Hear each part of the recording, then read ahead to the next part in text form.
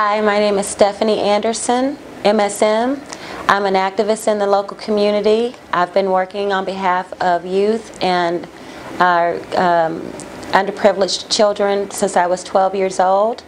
I continue to work on behalf of charities in our local area, and I'm the first person to ever successfully sue the NFL on a disability claim for brain injury for an active duty NFL player. So